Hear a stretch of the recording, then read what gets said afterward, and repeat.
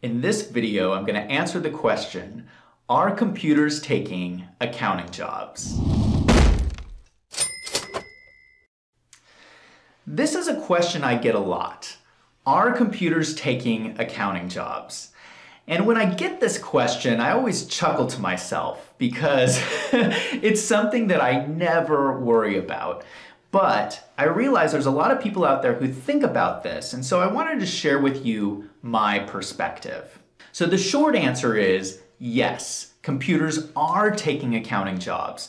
But the flip side of this is it's not something you need to worry about. So what's happening is computers are always advancing, technology is always advancing, and in accounting, they're automating more of accountants' work and doing more work for accountants.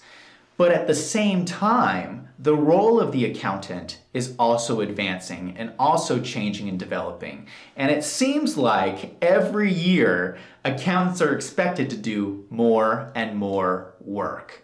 So I don't see the workload of accountants decreasing, even though computers keep becoming more and more advanced. So we have to look at this from a historical perspective because it wasn't that long ago that companies didn't use computers.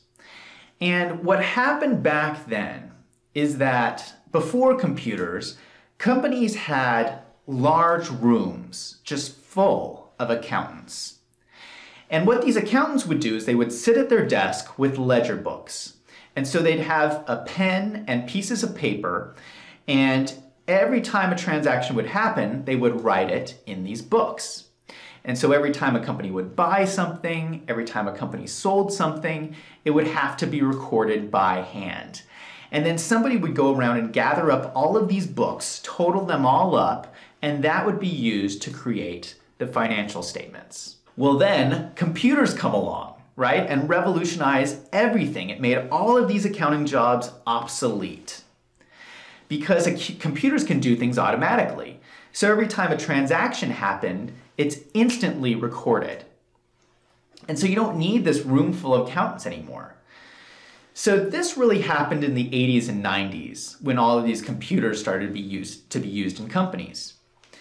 So here we are today in 2017, and we have more accountants than ever before. so what happened? You know, all these jobs disappeared, but accountants, the role of the accountant changed as well. And accountants do so much more than they used to do back then. So I want to think a little bit on a bigger scale what's happening here. You know, there are business owners all around the world. And these business owners own companies. And all of these companies need accountants. They need a physical person sitting inside the company watching the money. So I don't care how advanced your computer system is, you need a physical person in there watching the money. And if you don't have one, you're just asking for trouble. so not only do you need this accounting, this accounting person, you need a second accountant outside the company who's able to come in and audit the first accountant to make sure that they're doing their job. Not only that, you need a third accountant you need a third accountant who's able to come in and do the, all the other accountants' taxes.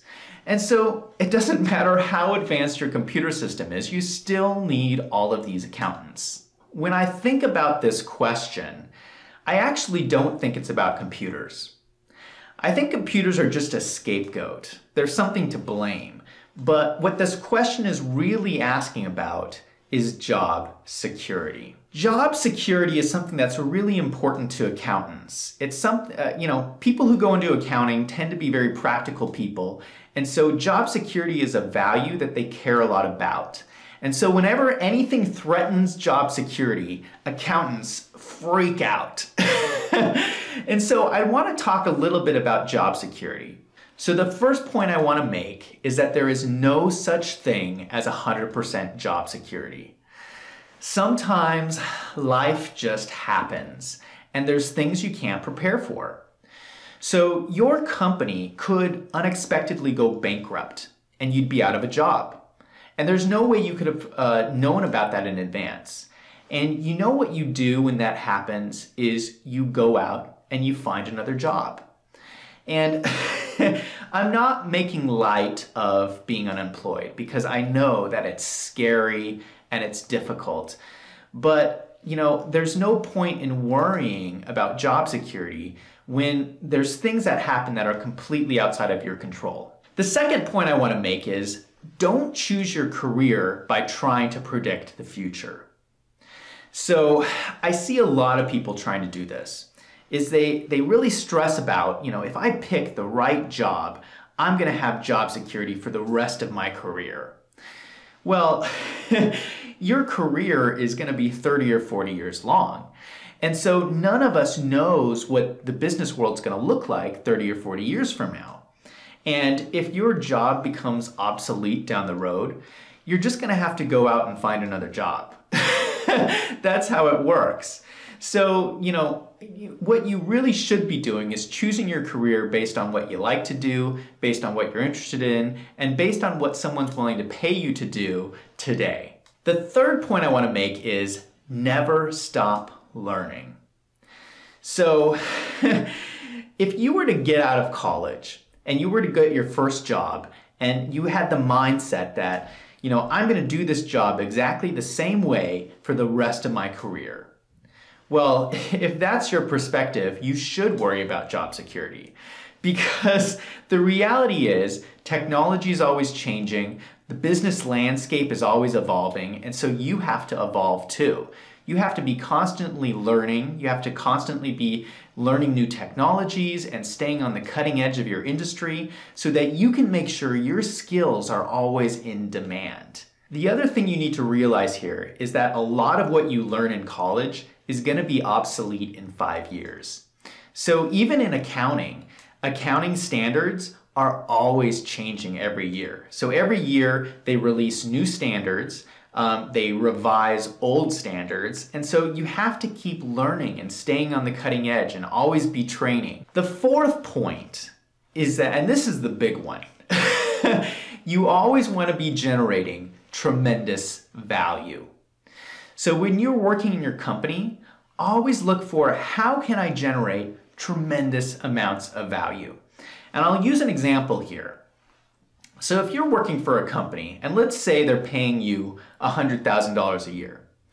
Well, you want to be generating $200,000 a year worth of value for this company. If you do that, that company is never going to let you leave. because you're generating so much value for them. You're not going to have to worry about job security. Now, the flip side is if you're working for a company and you're getting paid $100,000 a year, but you're only generating $50,000 worth of value for the company, then you should be worrying about job security. Um, but really, you know, if you just look around and you're constantly looking for ways where you can add value to your company, you're going to give yourself job security. So I hope my message here is a positive one. You know, the business world is always changing. Technology is always changing and growing. But there's a lot that you can control when it comes to job security. You can always be learning and staying on the cutting edge and making sure that your skills are in demand. And you can always be focused on generating tremendous amounts of value. And if you do those things, which are completely in your control, then even if you happen to lose your job for some unexpected reason, you're gonna have an awesome resume for you to go out and find another job. So the bottom line is don't be scared about job security and don't be scared of computers. If you liked this video, go ahead and click on the subscribe button down below. I release a new video every week on accounting and corporate finance, so come back and check out next week's video.